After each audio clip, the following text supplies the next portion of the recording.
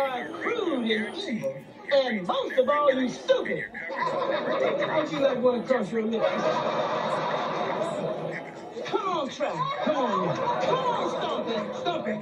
I'm tall enough to give you three of these in your nose. Come on. How long you want this? Are we all But you two stop it. I'm surprised at you. You mean to tell me you hit a lady? No, I wouldn't hit a lady. I hit her. Here's your coffee. Thank you, Mom. You always come around here and want to pick a fight.